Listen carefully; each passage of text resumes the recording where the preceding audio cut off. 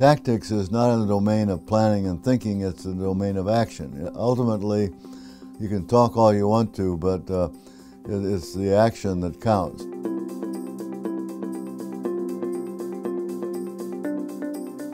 Fleet tactics is the application of uh, knowledge in warfare to the movement of ships uh, in engagement of the enemy so that decisions made at the carrier battle group level, individual ship level, or submarine level are considered fleet tactics. The first edition uh, came about because I had looked around and I was trying to find a book written by an American on tactics. There are all kinds of books on strategy and policy and highfalutin stuff like that, but I couldn't find one written by an American since 1942. Captain Hughes is a legend, essentially, among uh, generations of naval officers.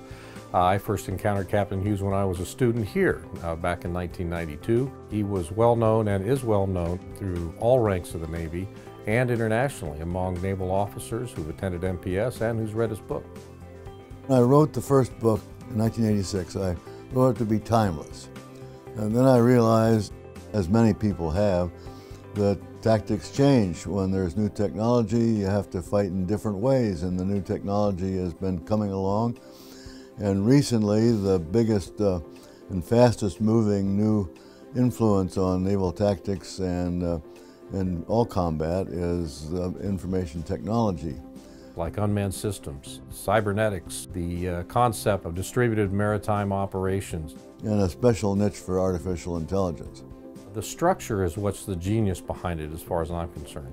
Not only is it a book that draws upon historical lessons to inform tactics today, but he does it in such a way that he identifies the constants of naval warfare throughout history.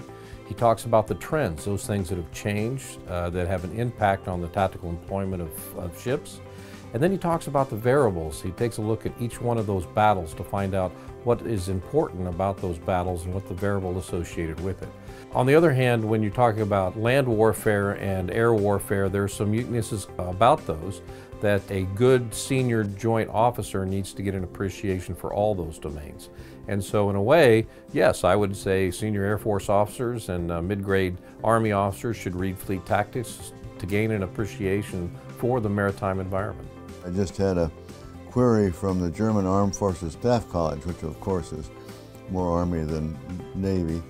Uh, and they said uh, they were thinking about using the book and uh, the reason was that they were going to shift their emphasis from policy and strategy to uh, technology, tactics, and operations. I don't think I could have written the book if I hadn't had a lot of friends in, in computer science.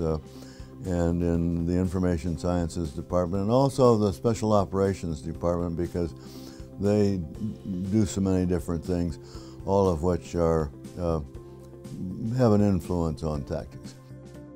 The book helps expand the mind, exposes thought processes for the officers uh, so that uh, in the future, in 2030, someone who's read Fleet Tactics of today will know how to win our nation wars.